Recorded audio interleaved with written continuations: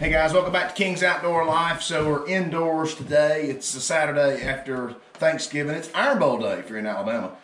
Really, it's Iron Bowl Day no matter where you are on the Saturday after Thanksgiving. You may not realize. But anyway, Iron Bowl Day means Alabama plays Auburn. That's a 2.30 kick. We're out in the garage. This was my father-in-law's garage back in the day. He built this thing probably 40 years ago. And as you can see, the lights are kind of struggling. I'll show you that. We got one light working here, one light working over there, and maybe like one bulb working over there. So I've bought these lights online. I don't know if you can see them there. These are, um, Barrina is the brand. They're LEDs. They are like $80 for a box of 12. I put them in downstairs to replace these lights and they work great. Also today we're gonna put in the on, we're gonna hang on, get it hang on this TV. You can see right back over here, we've got the smart TV, but it's sitting on a little table. We're gonna hang that today. And uh, who knows what else we'll get into. So anyway, thanks for joining us. Click like, subscribe, share with a friend. So straight out of the box, you open this up and you've got instructions. We're men. We don't need instructions. So take all your instructions and just throw them over there on the floor. I mean, they're lettered. A, B, C, D, E, F, G, H, I. We don't need instructions. We'll figure it out. Maybe. All right, so here's where we are. I went up in the attic and I wired in this wire where the previous wire was wired in. That way when you flip each switch, it's getting the wire from the same place. We've taken down, Lawson and I have taken down the light bulbs first, then we've taken down these fixtures, and I'll pass the camera off to him and show you how easy it is take down these old fixtures. This little center panel right here has got to come out. So I'm gonna come to the end here. I just take my screwdriver, pop it out. That's it, that comes off. There's a screw right here. Piece of tape got hang up there. All right. Here's a screw here.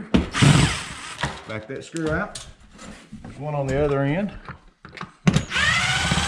Back that screw out. Now there's nothing but paint holding it up. Pop it loose, and you've got a wire holding it loose.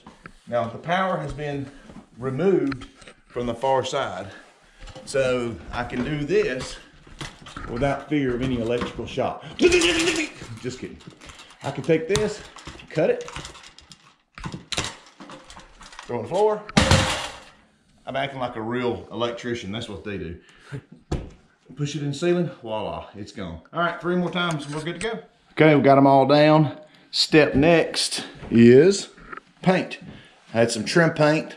White paint's white paint, right? So I'm painting over where the previous lights, they painted around. So I'm painting those strips to cover that up. I think I may delegate this duty to Kaylee. She's a better painter than me.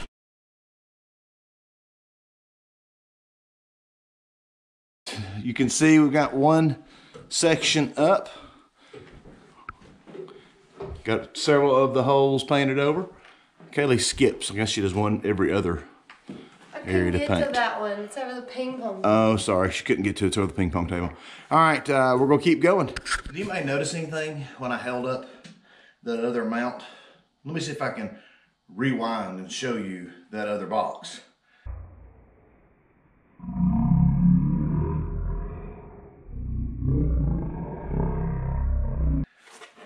Was a hang on, but in my haste, I grabbed the wrong kind of tabletop. Now maybe fixed TV wall mount will do the trick. All right, let's try this again. No instructions needed. All right, here's your instructions. Step one, find a stud. In this case, it's on this side of the camera. Good one, right? All right, so found a stud here. There should have been one here, but evidently it was on two foot centers. So this one's not on a stud or this one, but it's in this plywood, so it's fine. They make these mounts now with a built-in level. So level it up, screw it to it. Find the screws that go in the holes that are already there. They give you several choices of screws to fit that. Then all you gotta do is plug up everything and this hooks on the hooks there and we'll be good to go.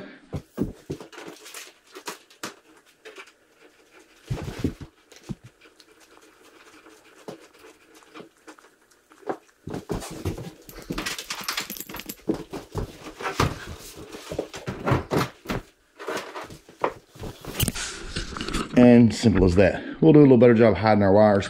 This wire on the left, I've wired it up through the ceiling. is to an antenna that we can get free TV over the air, and that's obviously the plug there.